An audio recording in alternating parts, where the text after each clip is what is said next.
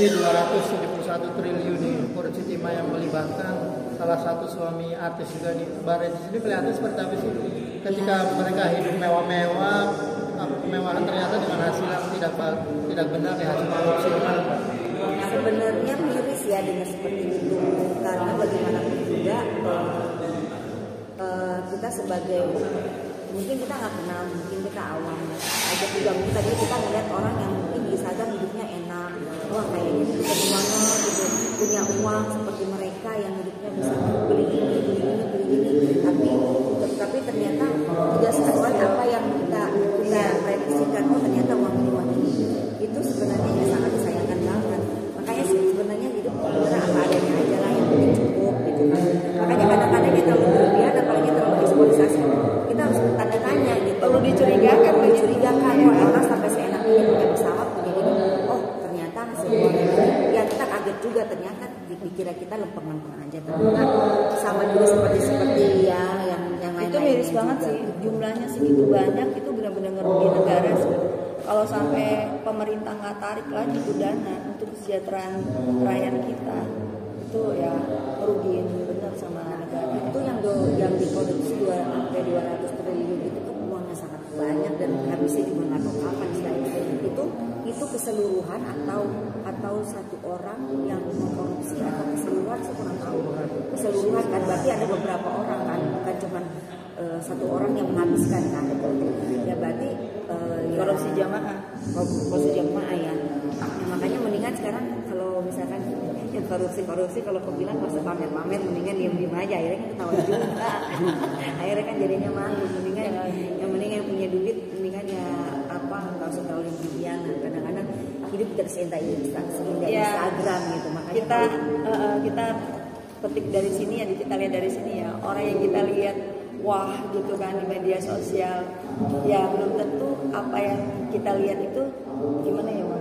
Uh, baik indah benar iya, terus gitu. bener-bener dia memang hasil gimana akhirnya kan ketahuan juga ini hasil korupsi kan. Nah mungkin ada orang yang mungkin yang biasanya ya maaf aja misalkan dulunya nggak punya apa-apa sekalinya dapat pekerjaan bagus jadi kayak wih bilang mata atau jadi kayak apa ya uh, kayak OKB gitu. Mungkin kalau yang kalau ya sebenarnya sih wajar-wajar aja di Islam juga di Islam pun disuruh kita tuh kalau bisa jadi orang kaya gitu kan. Tapi kayaknya seperti yang uangnya nggak ya, uangnya atau enggak berbagi berbagi karena itu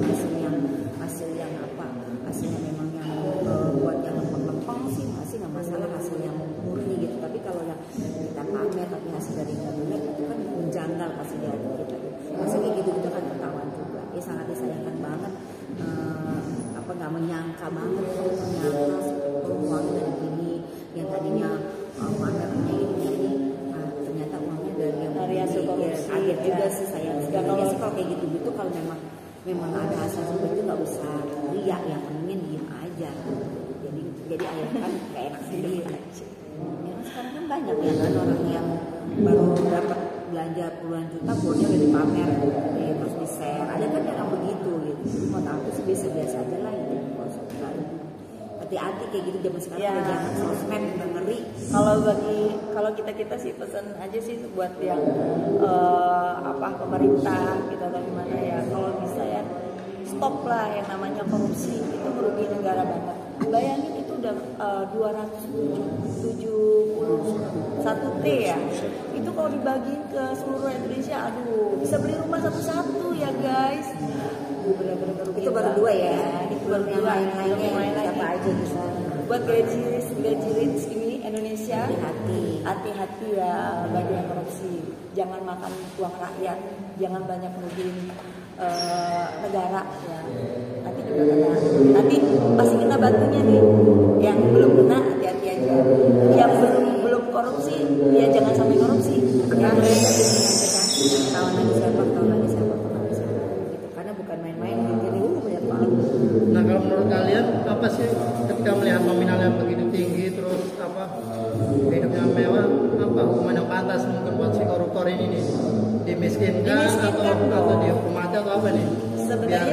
kalau saya sih lebih setuju dengan yang ini ya peraturan Korea tuh ya. Kecil memang tapi kapok kan. Tapi kan kita kan kena ham ya kena ham ya. Yang